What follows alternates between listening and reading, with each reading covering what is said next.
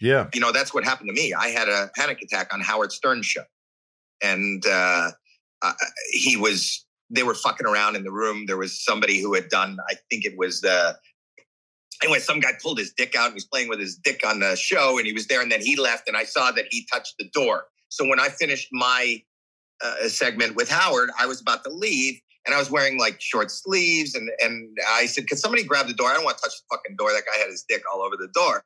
And they go, "No, just open the door." I go, "I'm a germaphobe. I don't want to touch the door." They go, "Touch the door." They were having fun with me, and I said, "No." And I went to grab a tissue to grab the door, and they knocked the uh, the tissue away from me. And then I, I was trying to pull out my shirt tail, and they were holding me from that. And uh, what? I started to have a. I, I'd never really talked openly about it before, and I started to have a panic attack. And I and I was going, and and a, a panic attack feels for those that have never had one like I'm having a heart attack. I can't breathe, yep. and I couldn't function, and I was getting dizzy. And I said, Howard, Howard, Howard, you got to get me out of here. I'm going to end up in the hospital. I go to a psychiatrist. I have something called obsessive compulsive disorder. I'm on uh, medication. Please, you got to help me now. I'm going to pass out. I'm going to pass out. You got to open the door for me. You got to open the door. So he went, okay, okay. Uh, and he opened the door. And I went out in the hall and I was sure that we were uh, in a commercial when I was leaving. You know, he had finished with me and I was sure we were in a commercial. But I heard as soon as I walked out the other door, they were still, they go, whoa, whoa, what the fuck was that? What happened to Howie? And I realized we were on the air and that went out nationally. And you have to realize for me, that was the very first time that I had ever mentioned publicly, besides to besides to my own family, my maybe closest friends, and wow. my uh, therapist and psychiatrist, what my issue was. And I was devastated when I heard it coming through the speakers. I, I went, "Fuck!" And my first thought was, "This is the end. This is the absolute end." Number one, my family's going to hear this, and anybody they know. You know, I have three children, and my wife is in LA now it's on the air that, you know, I have mental health issues that I'm going to be number one, they're going to be ridiculed at school. Your dad's a mental case. He has mental health issues. This is where my, oh my mind went. God. Number two, I'm never going to be able to get a job again. Any job, you know, they take insurance when I say that I have mental health issues and I'm medicated and I need to see a psychiatrist. Who's going to want to hire me?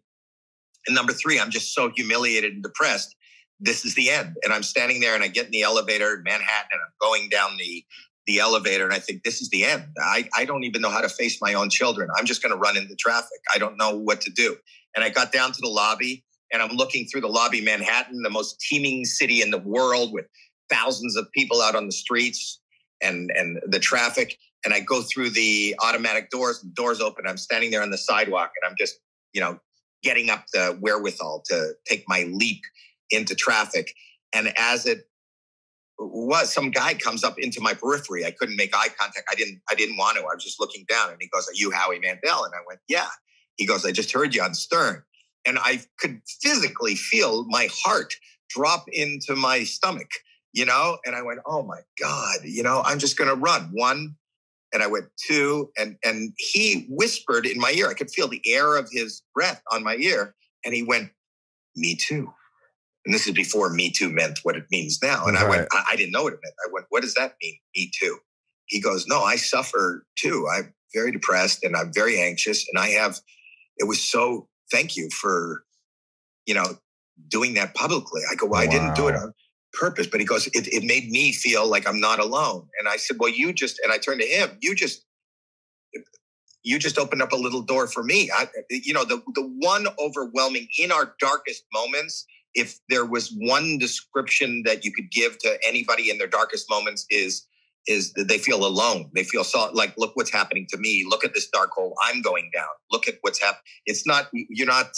There is no company in that. There is no joy in having other people around. But now I had this other person around, and he made me feel good. And I didn't run into traffic, and I'm here today. But after that, this was before email and before the internet.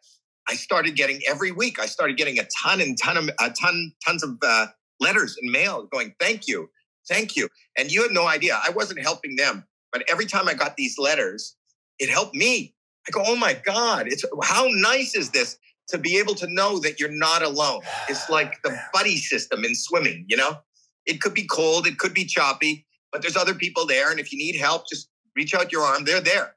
And it, what a what a, a, a journey from that moment on the sidewalk in Manhattan to sitting here and talking to you today is is night and day. That's the yin and the yang, and what needs to happen for absolutely everyone.